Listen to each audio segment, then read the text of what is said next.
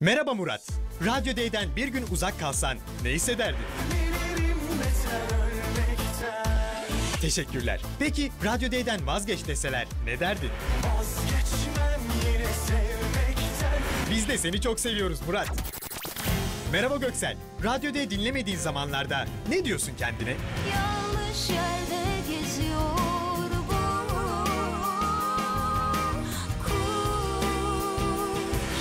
Peki Radyo D dinleyemediğin zaman nasıl hissediyorsun?